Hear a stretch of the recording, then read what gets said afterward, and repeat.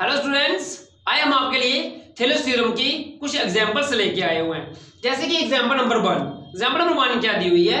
If a line intersects sides A B and A C of a triangle A B C एक triangle हमारे पास A B C right ये triangle A B C तो कहता है कि एक लाइन है, वो इंटरसेक्ट कर रही है ए बी और ए सी को किस पॉइंट पे? डी और ई e पे। जैसे मैंने मैंने ये लाइन ड्रॉ करी ओके ये क्या है डी और ई e. क्लियर फिर उसने कहा कि जे पे करिए and is parallel to BC जो ये लाइन ड्रॉ की है, हमने ये पैरेलल किसके बीसी के तो प्रूव करिए करिए A D upon D B equal to A upon E C same as last lecture में जो हमने कोरोलैरिस पढ़ी थी तो ये कोरोलैरी की तरह ही है है ही वही क्वेश्चन हमारे पास, ओके? तो क्या लिखा हमने? गिवन में लिखा a line intersects a line intersect side A B and A C A B और ए सी को इंटरसेक्ट कर रही है किस पॉइंट पे? डी और ई e पे। ये पॉइंट मतलब डी और ई e है। एंड डी ई जो ये डी ई है, ये पैरेलल किसके? बी सी के। क्लियर ये हमें सारा गिवन दिया है। टू प्रूव करना है हमने A D upon D B equal to A E upon E C के इक्वल तो प्रूफ प्रूफ में क्या करते हैं? सिंस डी जो डी ई है पैरेलल किसके? बीसी के। राइट डी ई अगर पैरेलल है किसके? बीसी के। देन थ्योरम क्या कहती है? भाई थेलोस थ्योरम कहती है, अगर कोई लाइन तो इस लाइन के पैरेलल हो, तब इसकी रेशियो इस लाइन की रेशियो और इस लाइन की रेशियो क्या होती है? बराबर होती है। तो हमने क्या लिखा?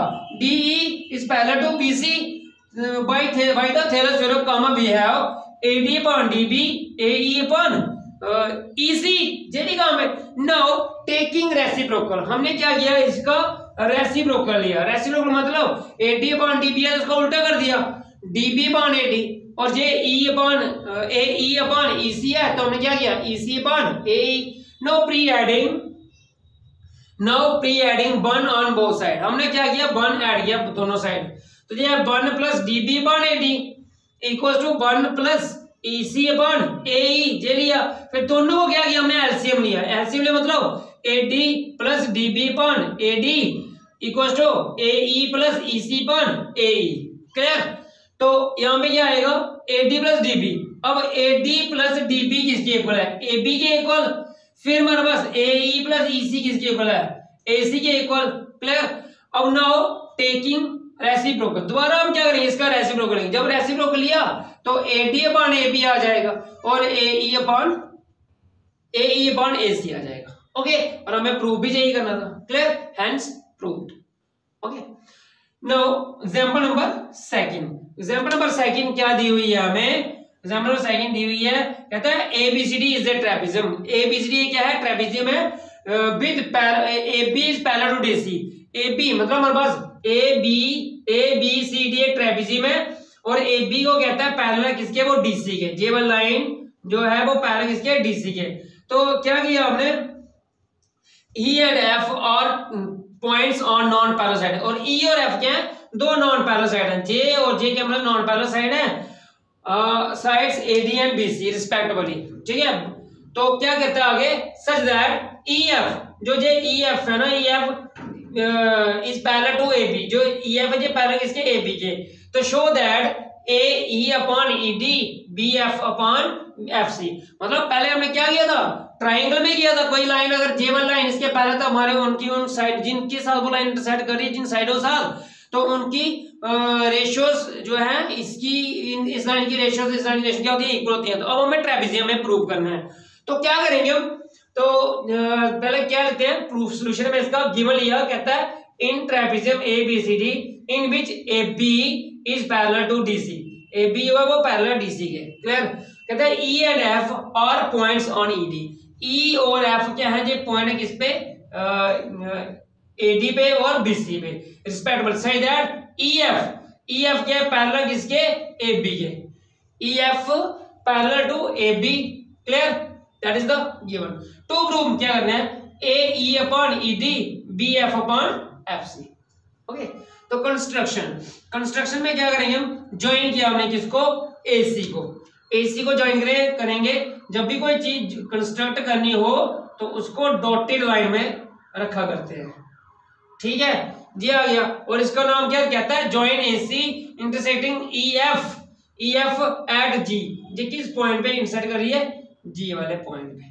क्लियर प्रूफ कहता है सिंस ई एफ़ जो ई एफ़ है, वो पैरेलल किसके? ए बी के। जो ई एफ़ है that is parallel to A B और ए बी किसके पैरेलल है? डीसी के। E F parallel A B और ए बी पैरेलल डीसी के। क्या ई एफ़ पैरेलल डीसी नहीं हो सकती? हो सकती है। तो मीन्स क्या आएगा ई एफ़ पैरेलल किसके होगी? डीसी के। तो जे हमारे पास आ गया। अब कहता है इन नाउ इन ट्राइंगल एक ट्राइंगल ले रहे डी सी क्या लिया ट्राइंगल ए डी सी ले रहे हैं। तो इन विच ई जी जो जे वाली लाइन है E G parallel to DC E G जो है वो पैरेलल किसके? डीसी के। जब ई जी पैरेलल डीसी से तो थेरस थ्योरम क्या कहती है? थेरस कहती है A E upon E D A G equal to A G upon G C जे लिया हमने। ओके तो जे हमारे पास है that is the number one. Similarly in triangle C A B हम सी ए बी ले रहे हैं। कमा, इसमें क्या आएगा? जी एफ़ पैरेलल किसके? G F parallel to A B अगर जी एफ़ पैरेलल है ए बी के तो देन बाय थेलस थ्योरम ये वाले पैरेलल तो हमारे पास थेलस थ्योरम क्या कहती है? कहती है A G upon G C equal to B F upon F C इसको नंबर रखा हमने टू क्लियर अब कहता है जब A E upon E D A G upon G C के इक्वल है, और ए जी अपॉन जी सी किसके इक्वल है? B F upon F C from first and second comma we get A E upon E D equal to B F upon F C के equal है. Okay hence proved okay समझ आया? No example number third कहते हैं from figure P S upon S Q हमें figure में दिया हुआ है P S upon S Q and P T upon T R okay और क्या दिया हुआ हमें? Angle P S T equal to angle P R Q जे वाला एंगल और जे वाला एंगल क्या दिया उन्होंने इक्वल दिया हुआ है. तो क्या प्रूव करना है हमें? P Q R is an isosceles triangle isosceles triangle में क्या करना पड़ता है हमें? दो साइडें इसकी इक्वल आना पड़ती हैं। तो क्या करेंगे हम? तो जैसे गिवन में क्या दिया हमें? P S upon S Q P S upon S Q and P T upon T R और angle P T sorry P S T and P R Q ये हमारे पास गिवन है। टू प्रूव करेंगे, जो पी क्यू आर है, वो क्या है? एक आइसोसेलेस ट्राइंगल है। Okay proof the in triangle P Q R P Q R P Q R लिया हमें कमा वी हैव क्या दिया हमें? P S upon S Q equal to P T upon T R हमने लिया। Now जब जे जे ratio हमारे पास है मतलब P S upon S Q और P T upon T R है तो then by converse of Thales theorem तब हम क्या अप्लाई करेंगे? कन्वर्स ऑफ़ थेलस थ्योरम तो क्या आएगा? एस टी मींस जे वाली लाइन और जे लाइन क्या होगी आपस में पैरेलल होंगी। मतलब S T parallel to Q R okay जब जे पैरेलल है तो क्या आएगा हमारे पास? विच इंप्लाइज मतलब अगर जे लाइनें पैरेलल हैं, तब हमारे पास क्या होगा? Angle P S T equal to angle Q R because by coning angle जो कॉरस्पॉन्डिंग एंगल है वो वाले यहाँ पे अप्लाई क्योंकि जब जे कॉरस्पॉन्डिंग एंगल होते हैं, जब जे लाइन आपस में पैरेलल तब जे वाले एंगल क्या होते हैं? हमारे पास इक्वल्स होते हैं। तो क्या है हमारे पास जे और जे पैरेलल तो इसका मतलब angle Q angle R S क्या होंगे? इक्वल होंगे। अब angle P S T equal to angle P Q R लिया, जिसको रखा हमने फ़र्स्ट बट गिवन क्या है हमारे पास? एंगल पी एस टी जो एंगल पी एस टी है equal to angle P R Q है। तो फ्रॉम फ़र्स्ट एंड सेकंड में से क्या आएगा?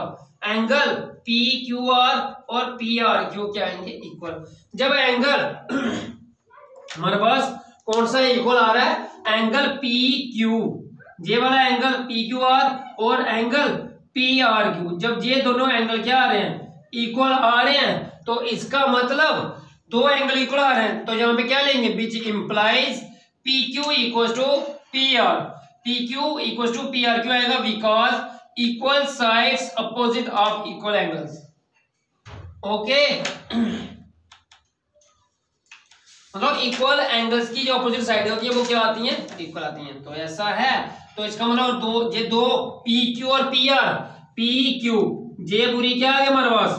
पी क्यू आ गई। क्लियर जे क्या हमारे पास? पी क्यू और जे क्या है? पी आर है ना? दो साइड है इसकी।